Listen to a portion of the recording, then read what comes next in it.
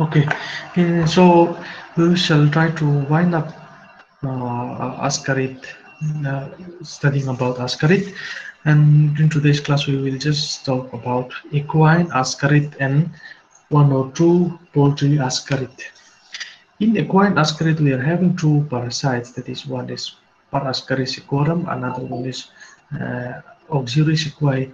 So, of course, this is an online class. I will not be very much in detail and in the pathogenesis and all this, but I will I will try to make in the most simplified form, simplified way, so that you will be able to grasp through online. I know how hard it is difficult. I mean how hard it is to give a full concentration online. So I will try in a crisp and in a simplified manner. Okay. So Yes, I told you that there are two ascaris, ascarid infecting equine. One is Parascaris equorum. Earlier, I this Parascaris equorum was, oh, nowadays you may also call it as uh, Ascaris megalocephala. Here, Ascaris megalocephala because it is having a large head. Okay, so being that ascarid this parasite, the female is really large, up to 50 centimeter, while the male is around one feet. Okay, so in their general morphology, I mean, in their general characteristic, they are they will be located in the small intestine, and their life cycle will be direct life cycle. Very very simple one, very very simple life cycle. And we shall just see this is the um, my friend have sent me the picture. This is ascarid equine. This is actually a, after postmortem of a donkey, and they could find many ascarid in the intestine, in the small intestine. See, this is really large one. It will be around 40, 45 centimeter long, and these are the males, and these are the female. This, this one, these two are the big ones are the female. Okay, so if you can, if you see here, this is the egg of ascarid of Parascaris equorum, and you see there is a thick uh, thick eggshell which is covering the uh, unsegmented embryo. Okay, if you see the life cycle here, as I told you that the parasites they will be locating in the small intestine and the eggs will be voided out in the environment when the environment as the parasite is incapable of hatching that's why the larva one and the larval stage will develop inside the eggshell and the same it will be entering in the small intestine. It will it, it will be ingested through or mouth through drinking water or through food and subsequently it will undergo tracheal route of migration. We are very well versed with what is tracheal route of migration okay? So the means ingest i will just tell once again that the parasite the egg of the parasite on entry the egg of the parasite on entry into the small uh, only entry through mouth and they have arrived in the small intestine.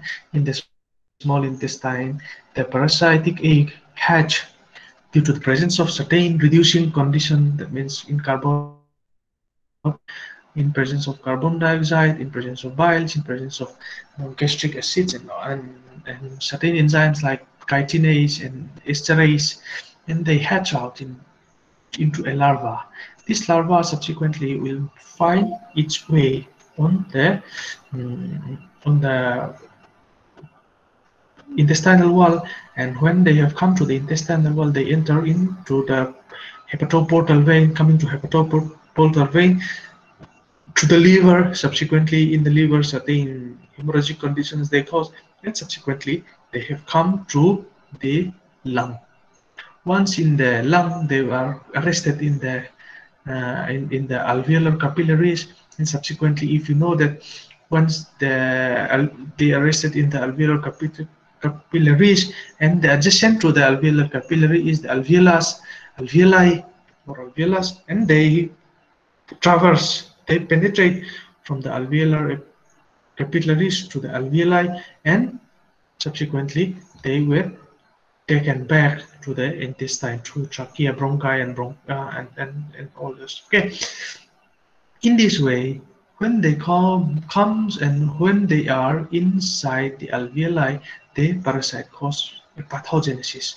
This is known as verminous pneumonia, V-E-R-M-I-N-O-U-S. Okay, so when it if she verminous means that means uh, it is a pathogenic condition caused by worm, verminous. We will see verminous enteritis or verminous uh, uh, colic and all this in subsequent times.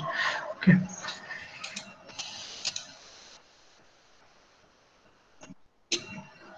So this is the pathogenesis. As I told you that coughing, this due to pneumonic conditions will be the most evident form and eosinophilia and the eosinophil count will be high and there will be diarrhea and which will be a fetid odor that will have a bad smell and the horse will be in poor condition. Let me remind you that in case of parasitic condition, parasitic infections or an infestation, as I told you that the, the mortality will not be high. I'm repeating, the fatality or the mortality will not be high, but the morbidity is high. That means in a flock, almost everyone will get the infection and what they cause, ultimately what impact they cause is there will be reduction in the performance. You see, they, because viruses and bacteria they comes and goes they comes and go but the parasites are the one which will be staying with the livestock forever so they will continuously cause uh, they will continuously cause uh, in economic losses in terms of reduction in milk production reduction in growth and reduction in the wool wool growth and reduction in egg laying and all this so for a farm especially organized farm, parasitic conditions are really notorious and really they are causing hindrance to increase in the production. Okay, so that's why the the parasites in case of notice we are not having much organized farm, so the conditions is not that evident. But in mainland in mainland India and in developed countries, these parasitic conditions they are really really important what are the treatment we, of course this is ascarid so simple treatment i mean simple drugs what we know of in bendazole mebendazole and thiabendazole maybe okay this will really work okay at the dose rate of 45 44 milligram or 50 milligram thiabendazole or fenbendazole usually 5 to 10 milligram mebendazole this dazole albendazole mostly they work within 5 to 10 milligram okay? The good thing and the plus point of anthelmintic is that the level of safety is really wide. That means in normal condition the animal could tolerate or the animal might tolerate 10 times of the dose also many times that, that means they they are having a very wide safety index that is a good the plus point. But the negative point or the demerit is that the parasite, as they could tolerate the wide range of safety, people they they I mean as the animal could tolerate a wide range of drug dose. That means they are having a wide safety index. People are just uh, giving simply the, that means detrimental use of the parasitic drugs are there. So, so what are its consequences? One is number one is parasites they are developing anthelmintic resistance against these kind of drugs. They in in nowadays the most many parasites they are uh, resistant. That means they are no longer effective against the commonly used anthelmintic or uh, antiparasitic drug. Number one. Number two is that the feed the drug residue in which have come into the environment that is causing environmental contaminations. This is really of a great concern in nowadays because people are detrimentally they are simply using the drug and the animal pass out the the the unmetabolized drug and they are contaminating the environment ultimately we consume those drug through fertilizers It means when the animal refuse or animal dung or is used as fertilizer and ultimately we are consuming again so this is really of a matter of concern in nowadays. Okay. So this is no longer in your uh, anisakis. This is no longer in your course, but I just want to highlight because uh, this just for your for for your knowledge. Okay, there is one disease known as herringworm disease. Okay, which is uh, contracted through eating herrings like a fish. Okay, marine fish mostly. Okay, so this is no longer in the course, but anyway, I'm just highlighting. And now comes another uh, another parasite. Okay, that is Oxyuridae. This family, I, as I told you, that there are three superfamily and then Ascaridida. One is Ascaroidea, another is Oxyuroidea, last one is Subuluroidea. So in Subuluroidea, mostly these are poultry. Ascarid, we will just have see one or two parasites, just just few names, and under Oxyuroidea, we are having one that is Oxyuridae family. Okay, so what is the meaning of Oxyuroid? Oxyuroid means that means there is a bulb in the esophagus. There is bulb in the esophagus. Okay, so this is a parasite. Hmm. The posterior portion of the esophagus is having a bulb. This is the intestine, and this is the esophagus, and the posterior portion of the intestine is having a bulb here. Okay, number one. Number two, the posterior end of female tapers. Okay, the posterior end of female tapers. That means I will see the I will show you the picture. And another one is male is having a single pin-shaped spicule. That's why it is commonly known as pinworm. It is commonly known as pinworm. And the another characteristic is that unlike normal ascaris or those parasites under the superfamily Ascaroidea, the egg, is having a it is flattened on one side and there is a block at one pole. Of course, the life cycle is direct. And once we come to the next slide, we will see. Okay, so under this, we, I'm just pointing out one parasite that is Oxyuris equi, which is unlike in case of Ascaris, located in large intestine. Now comes Parascaris equorum, they locate in the small intestine, whereas Oxyuris, they locate in the large intestine. This is the female. Okay as i told you that this is the female. The posterior uh, end of female greatly tapers and this is the male. This is a female. Okay so the male is having a single pin say spicule and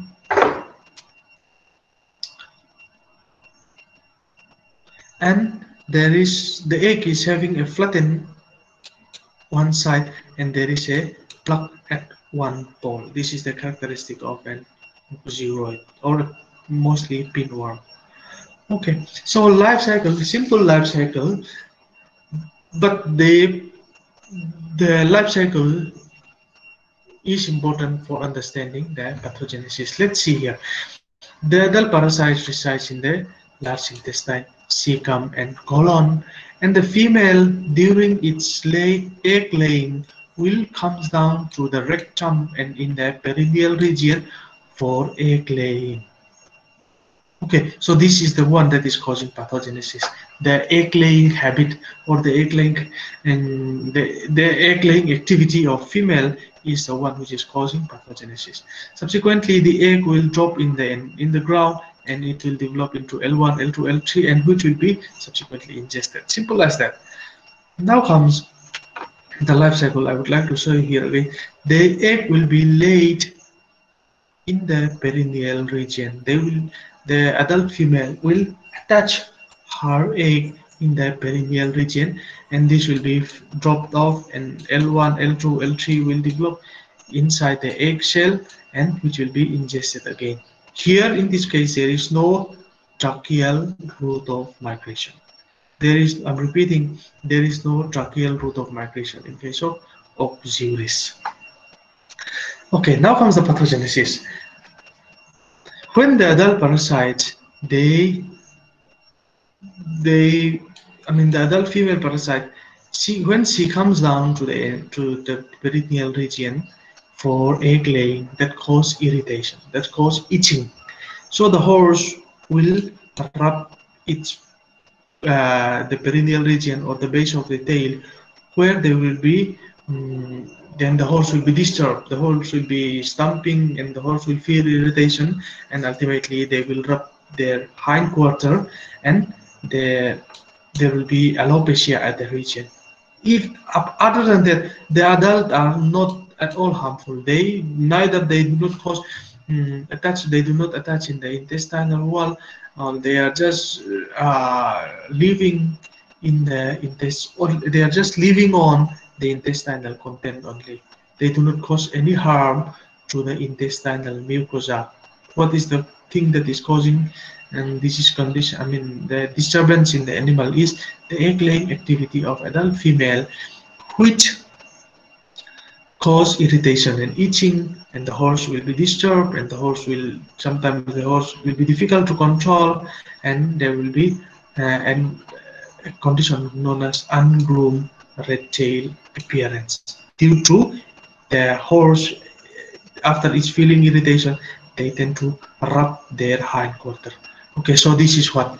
The horse will rub its hind quarter and due to constant itching there will be alopecia at the base of the tail and this is the egg that which is attached to the perineal region. Okay and at this time the horse will not behave properly so this is really a problem for for for especially in riding i mean race horse and all this. They are really disturbed by their irritation okay so diagnosis is simple as that. It is very very easy to diagnose once you see. And what people used to do in practice in real sense is they used to i mean they used to uh, for diagnosis they used to just stick a cellophane tape.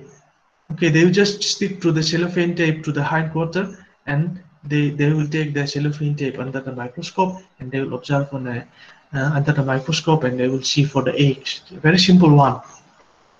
Treatment it is all the same with uh, uh, Parascaris equorum okay these are some of the some of the pinworm of other animal. And this is the pinworm which is causing itching especially in young kids in young children in children. And this is known as enterobius vermicularis this is also known as pinworm or many times it is known as seed worm okay so the rest these are not in your course but at least you know that enterobius vermicularis is the one which is causing uh, irritation in children. Okay, at least we must know that of, of, even though it is out of your course nowadays but in years in the old syllabus there was this the name these names were given but now it is out of your syllabus so at least it is good to know that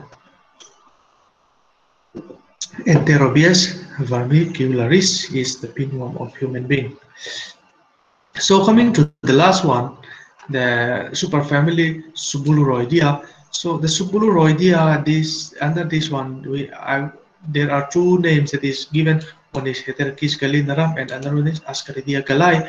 Okay, so Heterakis gallinarum is, as I told you that they are, I mean, they they are located in the uh, large intestine. They are very small one, means up to one centimeter in length. Okay, so more or less one centimeter in length. So they will not cause pathogenesis, Heterakis gallinarum. But they are really, really important in the sense that inside the egg of Heterakis gallinarum, there is one protozoa that will be encysted. There will be one protozoa which will be carrying, which will be carried by the egg of Heterakis gallinarum. Heterakis gallinarum is a roundworm. Inside the egg of roundworm, many times that there is a protozoa which is also coming along. That is known as um, what is that? Histomonas meleagridis. So that protozoa Histomonas meleagridis is really really important, and this will cause a huge mortality in especially in Turkey. They call it as black disease that we will study later on. So the importance of Heterakis gallinarum, I'm repeating, is not the direct effect or the direct pathogenesis that they cause, but the due to their action or due their importance in carrying the protozoa that is known as Histomonas meleagridis. Apart from that one, they are not causing any pathogenesis. Another one is Ascaridia galli, which will be locating in the small intestine of bird. And of course, they are also uh, small, but many times they could cause um, pathogenesis, especially in in in broiler and all this. Okay, that we'll just see. Oh, I'm not going in much in detail all these things. I'm just telling you the pathogenesis, the, the importance. They are transmitting blackhead disease, causing protozoa known as Histomonas meleagridis. Okay, that's why um, his Heterakis gallinarum is usually infecting our local chicken, local bird. So, uh, Histomonas meleagridis is not very pathogenic for local bird, but it is very, very pathogenic for uh, for uh, for turkey. That's why turkey should never be reared together with a domestic chicken. Because domestic domestic chicken, they will be carrying Heterakis gallinarum. When the Heterakis gallinarum is present, that means the Histomonas meleagridis will come along, and subsequently that the flock of turkey 90 to 80 percent 80 to 90 percent sorry it will be wiped off by this protozoa histomonas meleagridis okay this much. And another one is another parasite known as Heterakis isolonche and they cause sometimes nodular typhlitis. Apart from that one they are not causing any disease. Okay so i'm skipping now. And another one is ascaridia galli Ascaridia galli, this is important in bird younger than three months of age. Okay, so deficiency of vitamin A, vitamin B, and vitamin B complex will predispose the will predispose for heavier infection. There will be uh, there will be stunted growth because the parasites, they, uh, just like Ascaris suum, and Ascaris lumbricoides, they will be competing with the host for nutrients for number number two is that they will cause guttural inflammatory conditions in the in small intestine and when they cause guttural inflammatory condition in the small intestine absorption of the nutrients will naturally uh, retarded again and the other thing is that which is very aesthetic condition is the egg may be found i mean the parasites may be found coiled up inside the egg. So this this will re regard as economic loss again here. Okay, so with that I conclude today's for today's class. If anyone is having any doubt, let me know.